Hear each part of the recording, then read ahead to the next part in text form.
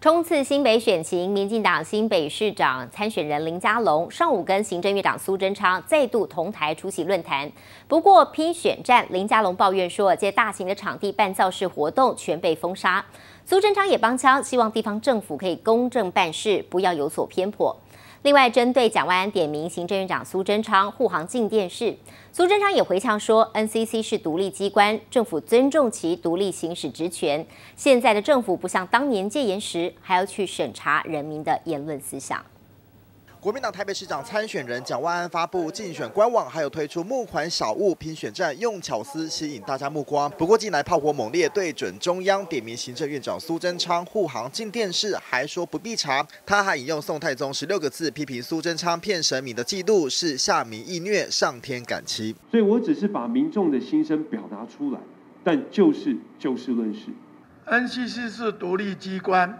政府都尊重他独立行使职权，啊，我讲的话清清楚楚。我们现在的政府不是像当年。建时代还要去查人民的言论思想。身为执政团队，苏贞昌强硬反击，对于选举逼近，对新北选情也很关心。第四度跟民进党新北市长参选人林佳龙同台，一同出席产业创新论坛。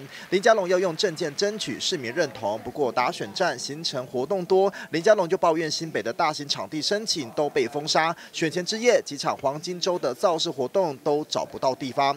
还有其他很多。啊，假日好的活动，室内的啊体育馆啊，有些啊并没有在办大型活动，所以我要拜托侯市长，啊能够帮帮忙。希望各地方政府都能一本公正程序办理，不要因为所长自己在选举就有偏颇不公。苏贞昌一旁帮腔喊话新北市府高抬贵手，不要刁难。不过侯友谊严正驳斥，新北市的公有场馆跟场地。